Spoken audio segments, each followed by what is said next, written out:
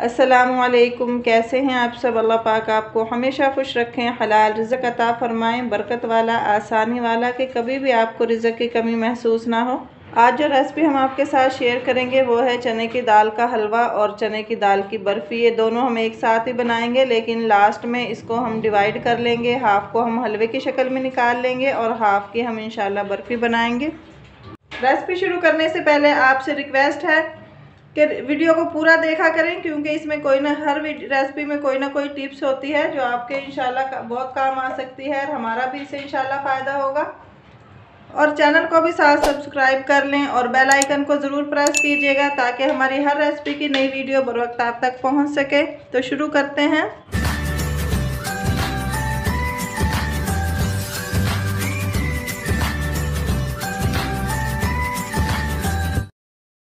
ये हमारे पास सात सौ पचहत्तर ग्राम जो है चने की दाल हमने लिए इसको दो घंटे पहले भिगो दिया था मैंने रब अच्छे से धो के इसको खुश कर लिया है। अब हम इसमें आधा किलो पानी शामिल करेंगे। मीडियम फ्लेम पे अब हम इसको कवर करके रख देंगे कि ये जो पानी है ये भी दाल का खुश्क हो जाए और दाल भी इसमें हमारी बॉयल हो जाए। बिसमीम ये देखें, दाल हमारी बॉयल हो चुकी है। बहुत ज़्यादा सॉफ्ट नहीं हुई और पानी सारा हमारा खुश्क हो चुका है। अब हम इसमें शामिल करेंगे दो किलो दूध। ये हमारे पास भैंस का पहला दूध है।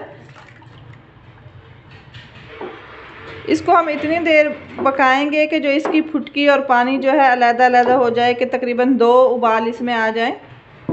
ये जो हमने भैंस का पहला दूध इसमें शामिल किया था, इसमें फुटकी बनना शुरू हो गई है। लेकिन हमने इसको इतनी देर पकाना है कि फुटकी है और जो इसमें पानी है दोनों चीज़ें अलहदा अलहदा हो जाएँ। इससे ये होगा कि हमारी जो दाल बिल्कुल सॉफ्ट नहीं हुई थी, वो भी सही से गल जाएगी।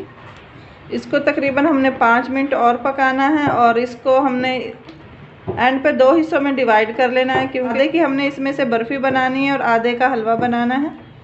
यहाँ पे पाँच मिनट हो चुके हैं बॉयल होते हुए और ये जो फुटकी और पानी है हमारा दोनों अलग अलग देखें, हो चुके हैं। अब हम चूल्हे को ऑफ़ कर देंगे और साथ ही इसमें शामिल कर देंगे 400 ग्राम घी। आपको जो भी घी पसंद है, जो भी घर में है डाल्टा या देसी, वैसे देसी का जायका ज़रा ज़बरदस्त किस्म का होता है, खुशबू भी बहुत अच्छी होती है, लेकिन जो भी आपके पास है वो इसमें डालें। घी हम बाद में भी डाल सकते थे, लेकिन यहाँ पे ये होगा कि घी से एक तो जब हम इसको ग्राइंड करेंगे, घी की वजह से चिकनाई से बहुत अच्छे से ग्राइंड हो जाएगा, और दूसरा ये है कि बाद में इसलिए डाला है कि ये हल्का सा इससे ठंडा भी हो जाएगा। क्योंकि जब हम फ़ौर ही ग्राइंड करना शुरू करते हैं बॉयल होने के बाद कोई भी चीज़ बॉयल करते हैं और चूल्हे से उतार के फ़ौर ही ग्राइंड करना शुरू कर देते हैं तो अक्सर जो है हमारे ग्राइंडर की जो रबड़ होती है, वो ख़राब हो जाती है। एक दफ़ा ही हम ग्राइंड कर पाएँगे इतने मिक्सचर को तो वो ख़राब हो जाएगी। इसलिए हम इसको थोड़ा सा ठंडा करेंगे कि इसमें उंगली डाल सकें, इतना सा ठंडा हो जाए, उससे इन हमारी जो है जूसर की वो रबड़ जो है बिल्कुल ख़राब नहीं होगी। तो अब इसको हम थोड़ी देर के लिए ठंडा होने के लिए रखेंगे और फिर इसको हम घी के साथ ही ग्राइंड कर लेंगे। बिसमीम ये तकरीबन हमारा नीम गर्म है अब। इसको हम जग में डालेंगे और ग्राइंड कर लेंगे। जग में हमने बस थोड़ा थोड़ा ही डालना है क्योंकि थोड़ा सा थिक होता है तो ज़्यादा हम डालेंगे तो अच्छे से ग्राइंड नहीं होगा। बस हमने इतना डालना है, इसको ग्राइंड कर लेना है। बिस्मिल्लाह ये ग्राइंड हो चुका है। अब हम इसको, जिस बर्तन में भी हमने इसको तैयार करना है, उसमें डाल लेंगे। ये हमारे पास कढ़ाई रखी हुई है, ये अब हम इसमें डाल लेंगे। ये देखें कितना थिक है, ये सिर्फ़ जो है, हमने इसमें ऑयल डाला था, इस वजह से इस जग में आसानी से हो जाएगा। घी जो इसमें घी शामिल किया था, हमने अगर घी ना शामिल करते तो ये इसमें हमें पानी और शामिल करना पड़ता। और फिर जब पानी शामिल करते तो ज़ाहिर बात है, पकाना भी ज़्यादा पड़ता। और जब ये पतला होता है तो पकाना भी ये थोड़ा मुश्किल होता है। इसी तरह हम सारे मिक्सचर को थोड़ा थोड़ा करके अच्छे से ग्रेंड कर लेंगे। ये सारी दाल जो है हम ग्राइंड कर चुके हैं और देखें बिल्कुल बारीक इसका पेस्ट बना है। दाल के बिल्कुल भी ज़रे नज़र नहीं आ रहे इसमें। जब को हम अच्छे से साफ़ कर लेंगे और इसके बाद हम इसको चूल्हे पे रखेंगे और मीडियम फ्लेम पे इसको पकाएँगे। बिसमीम अब हम इसको मीडियम फ्लेम पे पकाएँगे तकरीबन 30 से 40 मिनट तक। उसके बाद इंशाल्लाह इसमें चीनी शामिल करेंगे।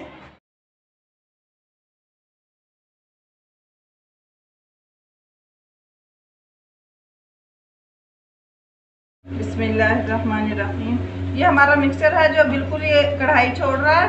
अब हम इसमें शामिल करेंगे दो कप चीनी या फिर आप हंसबे जायका लें। और फिर से इसको इतनी देर पकाएँगे कि जो चीनी का पानी है वो बिल्कुल खुश्क हो जाए। इसको अच्छे से चीनी को मिक्स कर लेंगे और फिर से मीडियम फ्लेम पे पकाएँगे। चीनी जो हमने इसमें डाली थी, वो भी यहाँ पे हम चेक कर सकते हैं, क्योंकि चीनी बिल्कुल मेल्ट हो चुकी है और जो चीनी का पानी था, वो भी बिल्कुल खुश्क हो चुका है। अब ये देखें, हम चम्मच हिला रहे थे, चम्मच के साथ ही सारा हमारा जो ये हलवा है, साथ आ रहा है। तो इसके बाद जब ये इस तरह घी छोड़ दे और चम्मच के साथ आने लगे तो इसको हम फिर से तकरीबन 20 मिनट के लिए इसकी भुनाई करेंगे। और साथ ही इसमें बादाम और खुश्क मेवे जो भी आपको पसंद है, वो हम इसमें शामिल कर देंगे। हमने सिर्फ़ यहाँ पे बादाम और इलायची, छोटी वाली इलायची वो शामिल करनी है। इसमें हम चार इलायचियाँ डालेंगे, जिनको हमने तोड़ लिया है और उसका बीज निकाल लिया है। इससे जायका और खुशबू दोनों ही बहुत अच्छी हो जाएँगी और अब हम इसको 20 मिनट के लिए फ्राई करेंगे। यहाँ पे 20 मिनट हो चुके हैं। और ये हलवा हमारा तैयार है। इसमें से अब हम हाफ़ को निकालेंगे और जो हाफ़ है उसको मज़ीद और 20 मिनट इसको भुनाई करेंगे। उसकी हम इंशाल्लाह बर्फ़ी बनाएँगे और इसका हलवा ही हम निकाल लेंगे हाफ़ को। फ्लेम को बिल्कुल मैंने लो कर दिया था, जब निकालना शुरू किया था, ताकि लगे ना, अब फिर से हम फ्लेम को मीडियम पे कर लेंगे। इसकी अच्छे से भुनाई हो चुकी है। अब हम इसको एक ट्रे में निकाल लेंगे। इसको हमने दो ट्रे में डाला है और इसको अच्छे से हम ऐसे चम्मच की मदद से फैला लेंगे और ठंडा होने के लिए रख देंगे तकरीबन 10 से 15 मिनट के लिए। थोड़ा सा ये ठंडा होगा तो फिर इसके जिस भी एंगल में आपको इसको बनाना है, यानी कि बर्फ़ी की शक्ल में या किसी और शक्ल में तो उसी शक्ल में हम इसको शेप दे देंगे।